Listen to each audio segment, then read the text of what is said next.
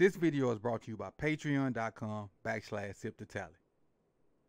Join the Patreon for exclusive vids, early release vids, on-screen shoutouts, access to members only giveaways, and added monthly tally points. Hop on over to patreon.com backslash sip to tally to see which one of the four tiers fits for you. Now let's get started.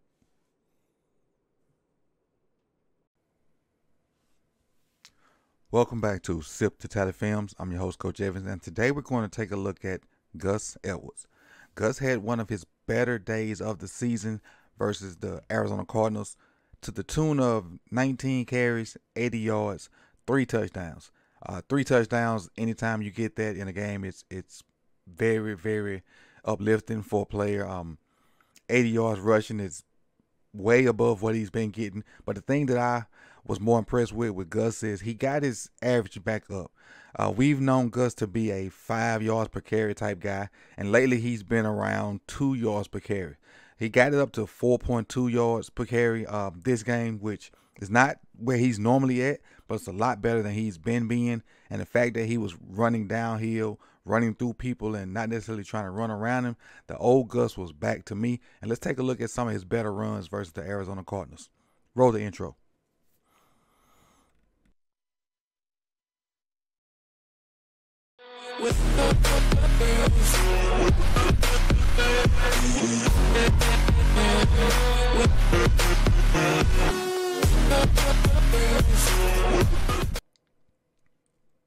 Let's dive into the Gus Edwards tape. But before we do that, like the video.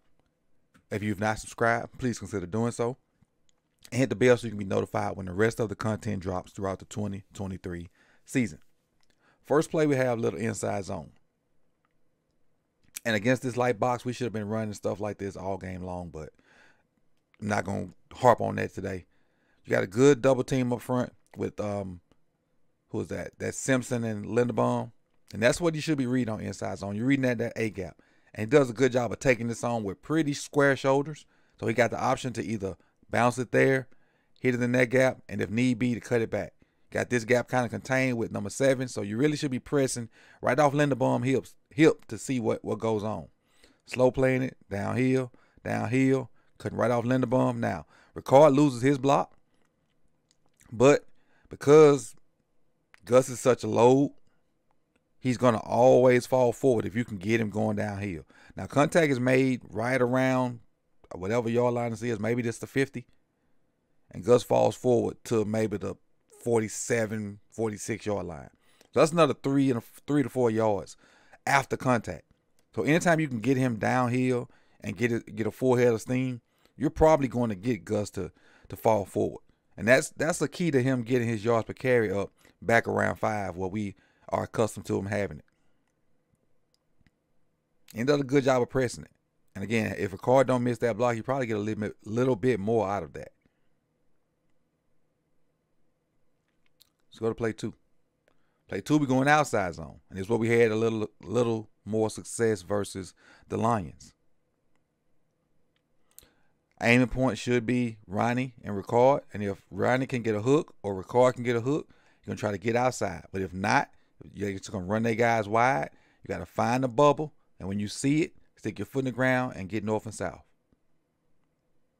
So they don't get hooks. Arizona does a decent job of of really trying to set the edge. Uh, Simpson is kind of getting a, a turn back block. Ricard, I mean not Ricard. Linderbaum is is running 65 wide, kind of like these other cats. So really, he has to see that, stick that foot in the ground, cut it right off Linderbaum, and make sure you get right behind Simpson, and then see if you can, you know, break up out of there. Good cut behind. See, there it is. Foreman right there. Turn back block by Simpson. Linderbaum runs this guy wide. There's the alley. Now you get him downhill with a head of steam. You get a good gain every time. It's a good job of being patient too, because right at one point it didn't look like anything was gonna be there. Like here, there's really nowhere for him to go. But a good job of being patient. A little hesitation. That little hesitation allowed the block to happen, and for him to be able to hit it. Nice game. We get outside zone going the other way. Same play the opposite direction right here. Now this time you're reading Mekari. Now the way it's set up right here, he should be trying to get outside Mekari. Should. I don't know why he does not, because he's gonna try to pat it. He gonna pat his feet, try to turn his back inside. But the way Mekari has this guy hooked, Gus should be on the track to get outside of him and hit it between Mekari and Ricard. But he doesn't. He cuts it back already, and with him cutting it back already, it kind of plays into the hand of the Cardinals guy because Mekari has this guy hooked. But, but the good thing with Gus is, if you if Gus can get a full head of steam and try to hit this gap right here, he can fall forward for another three to four yards, which is what happened. Because even even with this kind of half arm tackle, and a lot of guys ain't gonna be able to arm tackle Gus. Good job, Mekari, kind of staying on it and allowing Gus to run through this one arm tackle. Then right there, contact is made, and watch him fall forward for another three or four yards. Look at that. Contact is made well before whatever whatever yard marker this is. This is probably this is 10, it's 20, 25. This is the 30 yard line. So contact is made well before the 30. He falls forward to at least the 31. Again, you just got to get him, whatever the scheme is, you got to get him downhill. And he does a good job of just, you know, seeing it, Getting them shoulders square. You want them shoulders this direction. The quicker he can get his shoulders in that direction, the better it is for Gus, no matter what the scheme is. Play four. Power. Some traditional stuff. Going back to power. You're gonna get um you got Ronnie over here with an overload. You can get down, down, down. Gonna get Ricard kicking out. You're gonna get Simpson pulling. Ronnie's gonna do a good job of double teaming with with um Morgan Moses, then bouncing off to the linebacker. And just as Ronnie bounces off to the linebacker, Gus is going to hit it right off Ronnie's block. Here's, there's a double team with Ronnie and Moses. Here's Simpson coming through. Gus going to be patient. Be patient. There's a linebacker kind of in there where Gus wants to go. Watch Ronnie come off. Gus stick that foot in the ground. Boom. Jump cuts right in that hole. Perfect jump cut. Now, I'll be claiming Gus don't have a jump cut, but he gonna prove he proving me wrong in this this video. Stick that foot in the ground right there. Great cut. Great cut, great setup, great vision. Get skinny. Get skinny through the hole. And I fall forward. That's a great run right there. Even though that probably was like seven yards, that's a, that's a great run. It's a great play. So great that we're gonna turn around and do it on the other side. Let's try it again. this time they muddle it up a little bit. They muddle it up, and then you got you got Budda trying to shoot in, shoot that gap too. But uh, the good thing about Gus is he sees that. I think he also sees Budda coming in because everybody know Budda tries to come in and and head hunt from that safety position. He outsmarts him though. Budda's coming in wide open. You think he's trying to hit that gap? Nope. He's gonna bounce it again. And you don't think of Gus as a as a quote unquote bouncer to try to get to the outside, but in this case, it was perfect because had he hit that gap, where it should have been, Budda would have been there to try to cut his legs out because that's all he do anyway. But he played him. He's great vision for the touchdown. Great vision. Because eh, like I said, all look at Budda Baker up here. He right here. He gonna come in your screen. All he would have did was shot in that gap and just try to cut Gus' legs out. And that crap hurt. See him coming? Gus saw it. But the thing I love about it is this little joker right here be blocking his butt off. He be blocking his butt off for every any and everybody. Even when he can't get in it, you see him throwing his body around trying to get into play. This this is great stuff right here. That's great stuff right there by uh, Zay.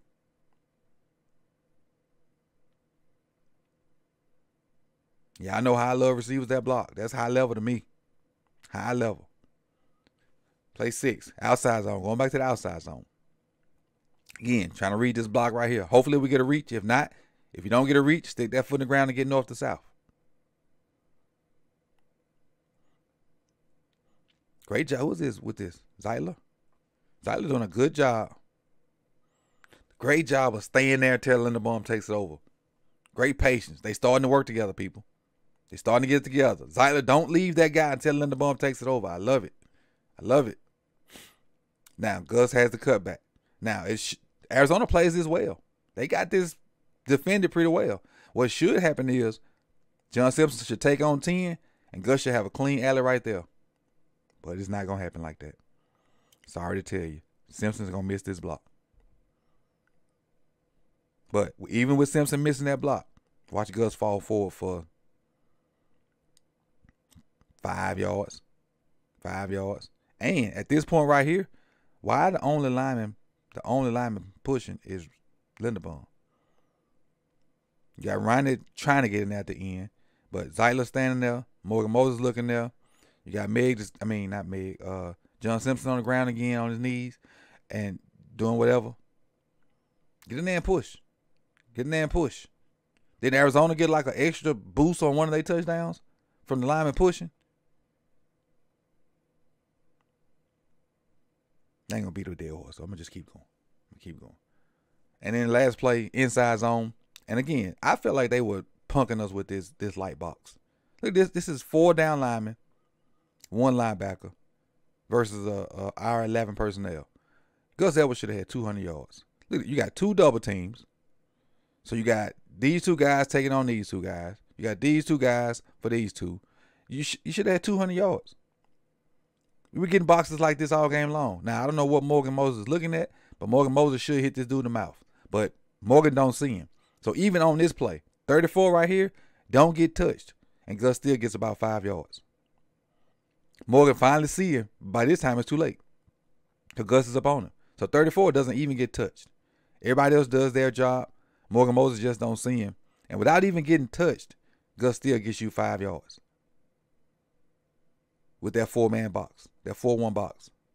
Why we didn't continuously run inside zone or whatever, anything until they came out of it because you you got to account for him. He has to account for Lamar. So now you're looking at four on six, and we still got numbers. But we just kept trying to throw it. That's but that ain't what this is about. This is about Gus having a good day and the three touchdowns and 80 yards. So I appreciate y'all for coming through, man. Uh, if you like the video, hit the like button. If you have not subscribed, please consider doing so. And most importantly, share the video. Uh, share it on your social media, wherever you watch videos at, in your Reddit, uh, your Twitter, your uh, everywhere, Facebook, all that. So um, appreciate everybody for coming through. You could have been anywhere in the world, but you chose to be here with me. And remember the motto, FTMF, because film then more film, because the film don't lie, unlike some people. And I'll see y'all next time. Peace.